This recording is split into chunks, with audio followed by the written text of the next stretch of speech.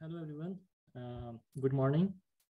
Uh, thank you, uh, Dr. Haris Parvez, for inviting me to deliver a talk at uh, Lancaster University, United Kingdom. So the topic of my uh, today's talk is uh, about privacy preservation, billing, load monitoring for Internet of Things, that is a smart meter. So this work has been carried out by my PhD student, Khadija Hafeez, and uh, the co-supervisor of this work is Dr. Donna O'Shea. And basically, this is a technical work, uh, and this work has been uh, accepted and published in IEEE International Conference on Communication ICC uh, 2021, workshop on communication, computing, and networking in cyber physical systems. So uh, basically, in this uh, talk, I will first talk about Internet of Things, and then I will explain how Internet of Things are uh, related with cyber physical systems and a smart grid. And then I will be uh, focusing more towards uh, smart metering infrastructure and uh, privacy preservation and billing and load monitoring for the, uh, for the smart meters. So when we talk about Internet of Things, uh, Internet of Things is basically comprises of things that have unique identities and are connected to the internet so the scope of IoT is not limited to just uh, connecting things like devices, appliances, machines to the internet, uh, but uh, Internet of Things basically allows these things to communicate and exchange data, control, and information. And a processing of these data will provide us various applications uh, towards a common user or machine goal. So as you can see over here, uh, this is basically uh, a smart home. this is smart home has uh, different appliances uh, such as refrigerator, microwave, oven, uh, lights, smart TV, garage door, exterior lighting, interior lighting, laptops, and all the all these things are basically connected uh, in a uniquely manner uh, with the internet. And one can access uh, the the data generated from these appliances and devices and uh, can get some insightful information out of these. So uh, in Internet of Things is basically in Internet of Things, you are trying to connect each and every electronic appliance to the internet. And then you will apply machine learning algorithms and intelligent techniques uh, to get some insightful data and to use uh, this information uh, for other benefi beneficial applications. So Internet of Things uh, uh, Uh, can be uh, used uh, in the form of smart meter. Uh, for example, these, these smart homes have one of the unique uh, you know monitor uh, which is smart meter these smart meters can be uh, can be implemented by utility companies so these smart meters will be capable of monitoring your all the electrical energy consumption and they provide this information back to the utility. So uh, Internet of uh, Things uh, basically, as I mentioned, uh, also contains smart meters and these smart meters are the integral part of a smart grid. So what is a smart grid? A smart, uh, a smart grid is basically an intelligent grid. As you can see over here, we have uh, electric power consumers. These power consumers can be uh, homes, electric vehicles, and these uh, electric power consumers have uh, their uh, uh, solar power solar power panels located on their rooftops or or other renewable energy resources, and they they can inject back their energy to the to the power grid. So when you look at the smart grid, uh, the smart grid is basically an advanced form of the electrical grid. And in this smart grid, you basically try to integrate information and communication technologies uh, to the traditional power grid to make it more efficient. And uh, in, a, in, a, in a smart grid, you have uh, traditional, traditional power generation resources such as thermal power plant or nuclear power plant. And then you have the electric power transmission system which transport uh, electrical energy uh, from, uh, from very far distances. And then you have the electric power distribution system, which is located near to the to the consumer. And in between, you have the control room, which try to uh, you know, integrate all these components of the smart grid. One of the unique feature of a smart grid is that it provides bi-directional power and information flow. For example, with the uh, uh, with the incorporation of smart grid, the electric power consumers can provide real-time information uh, to the electrical utility companies, and electrical utility companies can then, uh, you know, uh, perform demand demand response strategies and other billing and other information. Now, how the smart grid is different from traditional electrical grid. So basically, uh, in traditional uh, power grid, uh, we have electromechanical, you know, organization. the, elect the traditional power grid is based on electromechanical components, while the smart grid will be completely digital. In traditional power grid, uh, we have unidirectional communication, while in smart grid, we have bidirectional communication. In traditional power grid, only the uh, the uh, the the utility companies uh, can uh, provide information to the consumer. The consumer cannot provide feedback to the uh, to the utility company. But this the, the case is different in the context of smart grid. In a smart grid, we have bi-directional communication. Uh, now the uh, users, the smart grid users can uh, provide, inject back this information. Not only injecting back the information, but also uh, can inject, uh, inject back the, uh, the energy as well to the grid. traditional power grid is basically is blind in a sense that it cannot monitor itself while in a smart grid, uh, we, uh, we have self-monitoring capability and self-healing capability as well. If there is some problem occurs in a traditional power grid, uh, we have to perform manual checks and tests uh, where the uh, where, where the grid is uh, creating issues. However, in smart grid, we can perform remote check and test and there are few sensors available in the traditional power grid while uh, that is not the case in, in the context of smart grid. In smart grid, we have large number of sensors. And uh, in smart uh, in smart grid, we have large number of customer choices uh, while in uh, traditional power grid, uh, the customer choices are very much limited. So here you can see this is the vision of the smart grid, showing the vision of the smart grid, and it shows it shows that uh, smart grid is to bring together the existing electrical infrastructure and the computer uh, and communication networks uh, that we have been calling by various names of for years automation scada monitoring system uh, Uh, DCS. So uh, the in the smart grid we have we have uh, both uh, the communication system and electrical power grid system. Uh, they are combining together, and when they are combining together, it gives us real-time simulation, wide area reliability, uh, network optimization, customer participation, uh, participation in the energy markets. Uh, so basically, in a in a smart grid, uh, uh, in a smart grid, the core thing is smart grid communication network. So smart grid communication network provides you know customers the ability to communicate information to the utilities and other uh, other stakeholders. Uh, and the uh, the key to achieving these potential benefits of smart grid is basically to build up an efficient smart grid communication network uh, that can support all identified smart grid functionalities such as advanced metering infrastructure, demand response, uh, electric vehicles, wide area situational awareness, distributed energy resources and storage and distribution of, uh, of grid management. Now, this is another diagram uh, showing the smart grid communication network. So uh, as you can see, in, in on the top, you have the power system layer.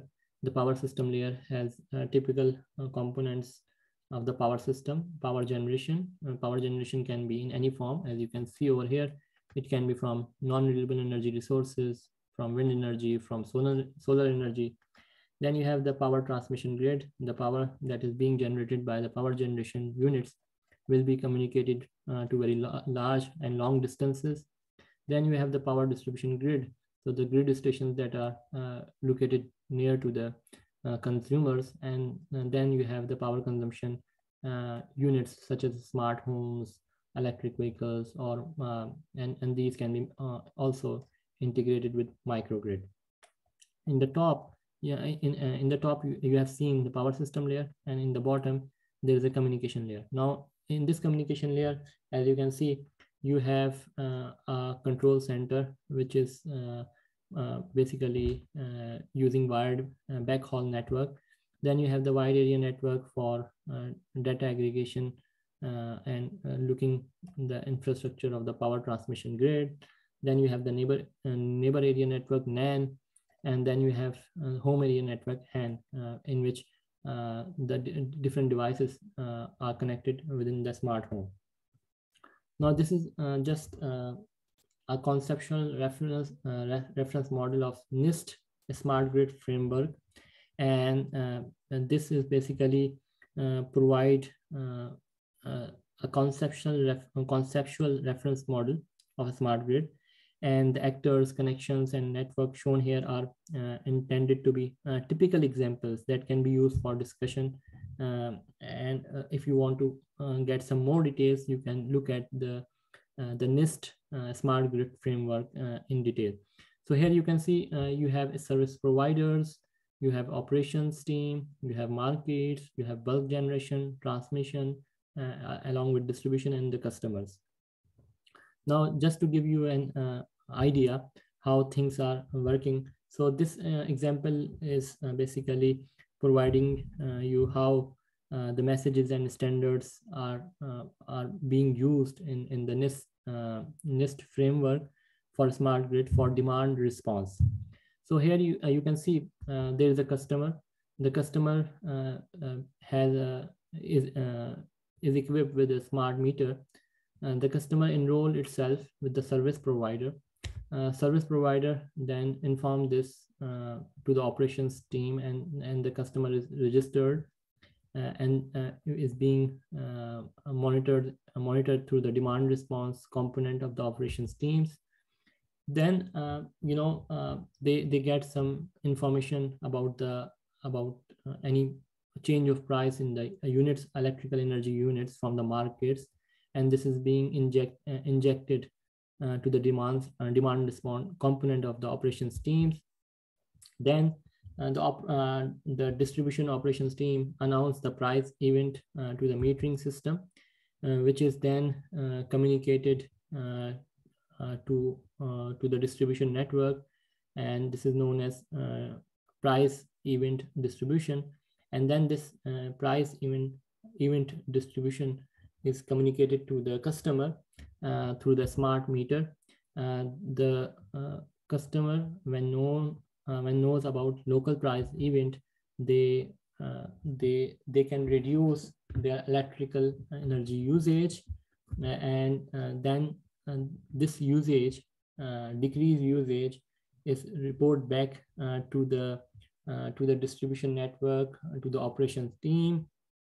And the operation team then uh, uh, in, uh, calculate the billing information and then billing information is then communicate to the customers via service providers.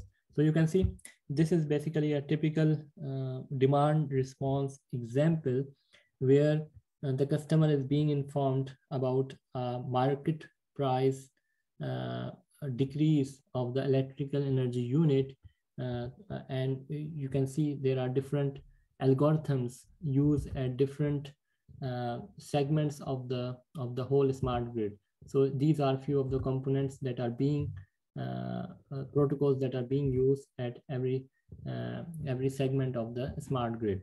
So this is how a customer uh, can get a real time uh, awareness about decrease or increase in the in the unit of the electrical energy and then they can adjust their uh, electrical energy usage and then get some benefit in terms of uh, reduced billing uh, as a customer. So, and this, this, this is uh, uh, not possible in traditional power grid. This is only possible in a smart grid uh, because a smart grid has this capability of bidirectional communication and uh, gathering all this fine grained information. So uh, this is how uh, uh, you know demand response is managed uh, in a typical smart grid. Now, actually, uh, as, as I mentioned, Uh, uh, we are focusing on a smart grid.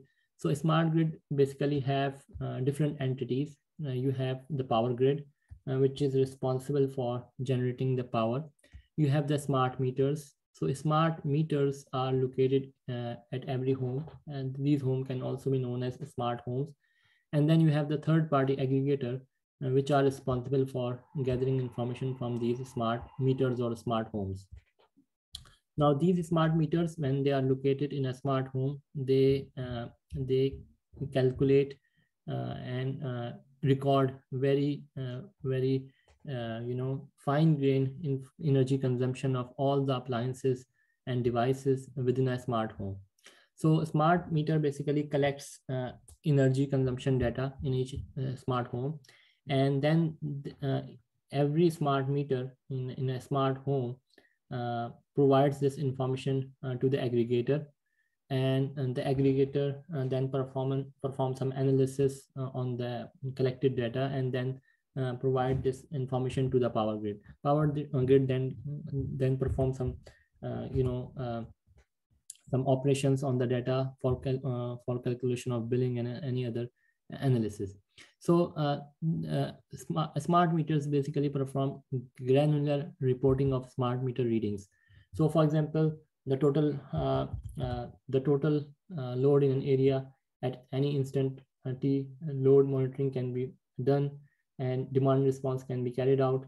And one can also uh, calculate the total energy consumed uh, in a time period t. So you, you, can see smart meter is basically communicating uh, uh in, uh, the the energy consumed uh, every 10 meter, minutes and this information is provided to the aggregator or to the utility. then the aggregator basically uh, calculates the total energy consumed in a time period. So here uh, you can see an example where you have uh, different uh, uh, houses, three houses in this example. Each house has uh, a certain uh, energy consumption in, in terms of kilowatt. Uh, and then if you want to check, you can check for against each house how much uh, total energy has been consumed and you can then calculate the bill.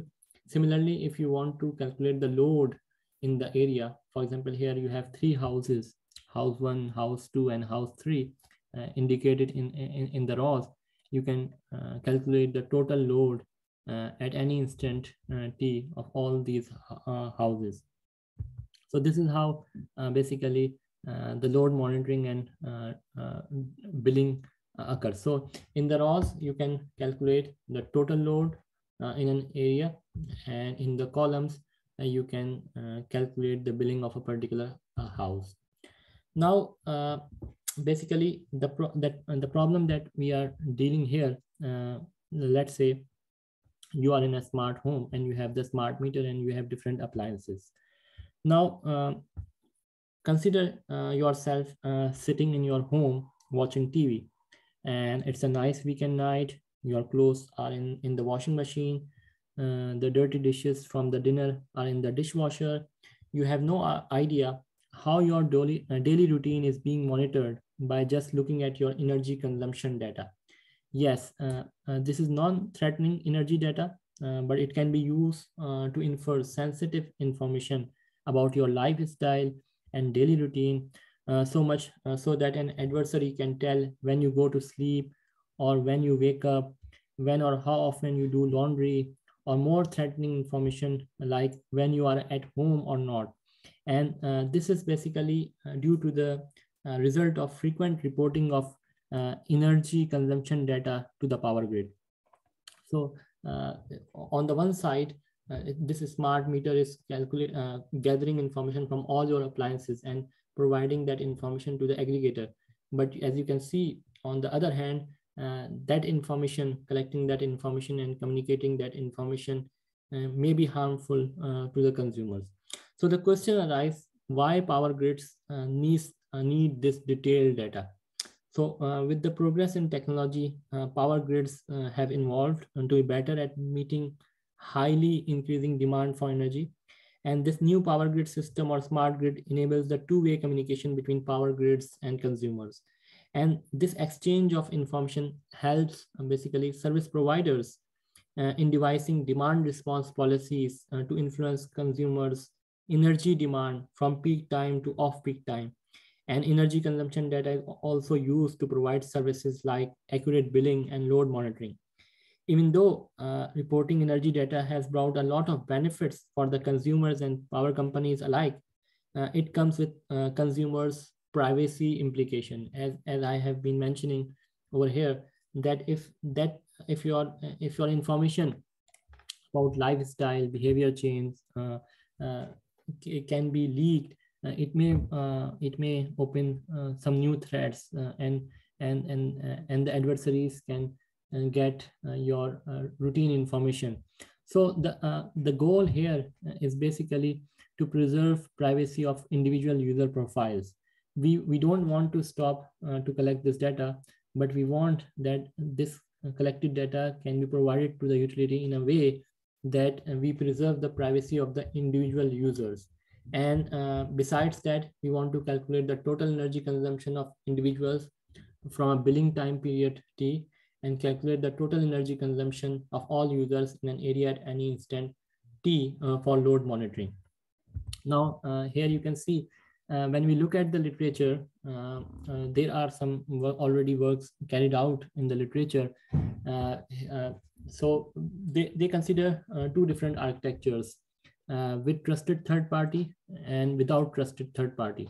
So with uh, trusted third party, there are some uh, works carried out, uh, uh, which uh, among which DRDP is one of the strategy that is that is basically adding noise to the aggregated data before sending to the power grid. the advantages of this scheme is that user privacy can be achieved from the power grid and accurate load monitoring and billing uh, can be carried out by the aggregator. But you know, uh, there is no privacy from aggregator and inaccuracy at power grid uh, data calculation is also possible. And there is too much trust on uh, third party aggregator.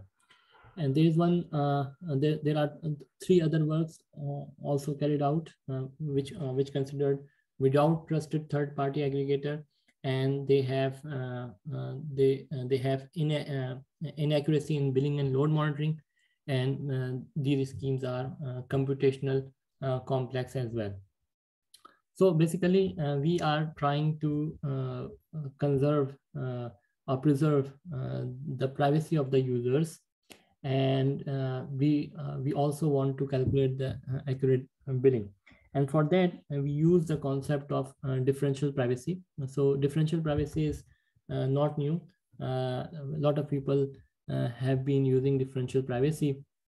So basically in differential privacy, we try to add noise in a in an intelligent manner so that we we can anonymize the data uh, uh, and uh, if the data get revealed uh, Uh, the, the adversary cannot uh, uh, infer the actual uh, data, the real data.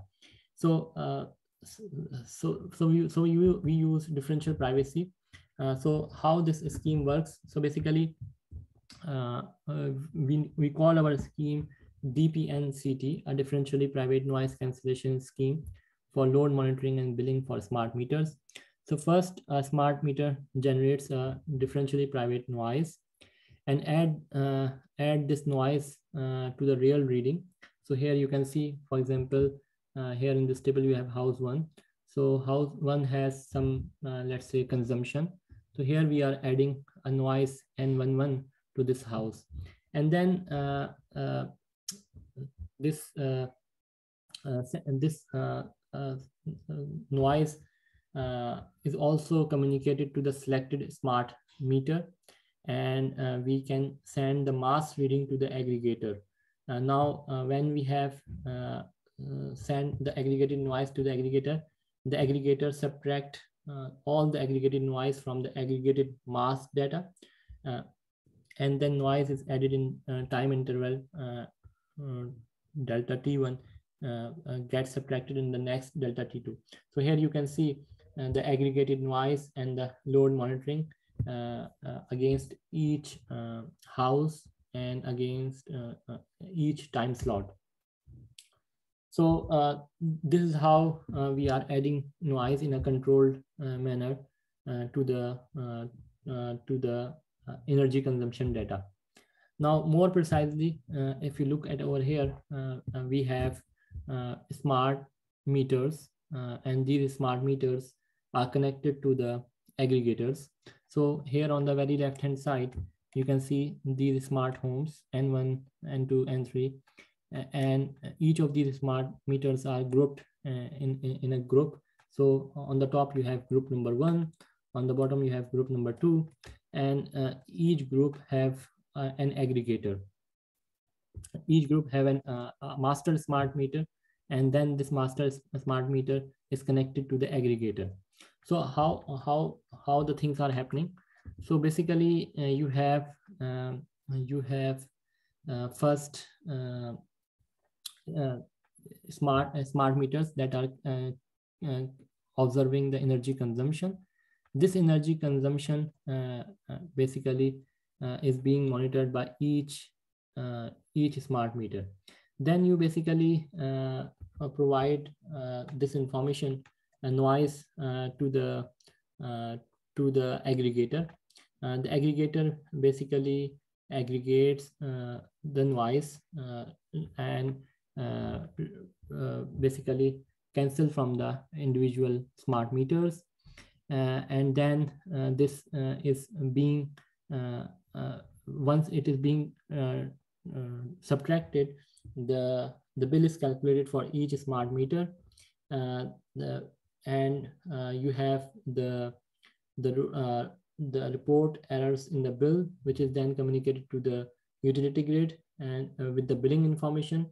And uh, you also provide uh, the differentially private data to the utility so basically uh, you you are what what you are doing is that you are uh, adding noise uh, to the uh, to the energy consumption of the user user data and you provide uh, that aggregated noise as well as the mass data.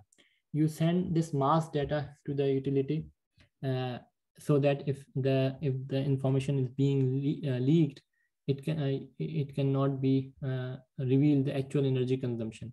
And then uh, at the end you are basically uh, subtracting uh, the mass data uh, the noise uh, from the from the mass data to, to calculate the accurate billing and the accurate billing information is then communicated to the smart meter users who then charge the accurate billing and we have performed some experiments so we considered uh, total households of 200. Uh, we uh, calculate uh, the data every 10 minutes and we use NumPy Python library for that. And uh, we, uh, we basically consider different time schemes, hourly, daily, and weekly. And here you can see, first we try to check the privacy and whether our scheme is uh, uh, preserving the privacy of the user data or not. So here you can see uh, we compare our DPNCT uh, technique with the results of DRDP strategy uh, used on the daily profile of a randomly chosen single user. Uh, so here in this graph, the solid black line denotes original real-time data and the dotted blue line shows protected data by DRDP and the dotted uh, red line depicts uh, DPNCT protected data. So you can see uh, the masking effect of noise added by DPNCT technique has close to none correlation with the real-time uh, data profile. And this low correlation uh, depicted uh, in this figure means that an adversary cannot infer a user behavior or lifestyle patterns Uh, thus, we are ensuring the privacy of user data patterns generated without the underlying assumption of a trusted third-party aggregator. So for example, uh, just to be more precise, here, let's say, uh, if you can see uh, the black solid line, let's say the energy consumption uh, at this time instant of this particular user uh, is basically, let's say 200 watt hour. but you can see the red line, the re red line over here shows you 4000 or 3000 energy uh, consumption so if if that data that is being communicated to the utility is uh, revealed uh, uh to the uh, to the adversary they cannot infer the actual energy consumption uh, of the of the of this user so this is how Uh, the privacy of the uh, consumers is being achieved by adding noise uh, to the real-time energy consumption data now here, uh, uh, here in this uh, figure, we are showing you the, the result in terms of billing. So basically when we added noise to the energy consumption data, normally we can say that when we add positive noise or negative noise, you know, either we are charging more to the consumer or we are charging less to the consumer. But the consumer uh, uh, why should the consumer be penalized? Uh, and why should the utility com companies be penalized in terms of charging less less billing? Okay so in order to do that our scheme basically subtracted the aggregated noise from for calculate the billing. And these graph uh, clearly shows uh, that we are accurately calculating the billing of the smart uh, energy users according to their actual energy, consum energy consumption. So basically, uh, we compare uh, different noise cancellation uh, schemes. Uh, for example, hourly scheme, daily scheme, and weekly scheme. As you can see in the bottom, you have hourly scheme, you have daily scheme, and you have uh, weekly scheme. And uh, we calculate the mean absolute error, MAE, in total energy consumption kilowatt hour of, of a arbitrarily selected single household. So in this figure, uh, we also compare, uh, compare the effect of different schemes on our dynamic billing scheme. Uh, so the MAE uh, in hourly noise cancellation scheme for total energy consumption was uh, lowest, uh, as you can see over here, because of the least amount of noise left at the end of the billing period. For example, in if you look at the hourly hourly hourly noise cancelling scheme, if a total noise NT1 of 7 kilowatt hour is added uh, uh, is added in the hour 12 uh, uh, then the cancelling noise of exact same amount that is 7 kilowatt hour is subtracted in the next hour 1 and 2 uh, 1 to 2 so the M MAE uh, mean absolute error at the end of billing period for hourly noise cancellation scheme was the lowest and because the bill only has small error added due to the addition of noise in the last hour of last day of the billing period. Uh, the MAE in total energy consumption of daily and weekly schemes are uh, uh, 02 and 05 respectively. Uh, so as you can see, uh, the error in bill is reported to the aggregator and it's get corrected in the next billing period. The customer sees no impact in terms of billing given the operation of the uh, DPNCT algorithm. So this is how our scheme ensures uh, the accurate uh, billing uh, and also at the same time preserve the privacy the, the privacy of the user. So basically, all smart meters, the best um, for the load monitoring, uh, the best case scenario is all smart meters send aggregated noise of group and 0% error in total load at any instant of time.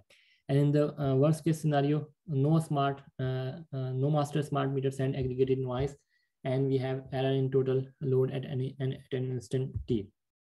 So as plan of our future work, uh, we, uh, we, we will focus on analyzing different attacks on DP, uh, DPNCT, different privacy attack. And we may also uh, uh, look at improving the master uh, smart meter selection scheme as well. So these are a few of the references that we use throughout this presentation. So thank you very much for listening to this talk. Uh, so uh, here I just uh, want to conclude my talk. So here in this work, we presented a privacy preserving scheme uh, for Uh, for preserving the privacy of uh, smart, meet, uh, smart metering users while calculating accurate billing information. And uh, I want to thank uh, the PhD student uh, Khadija Hafeez who, who carried out this work um, for, for the completion of her PhD.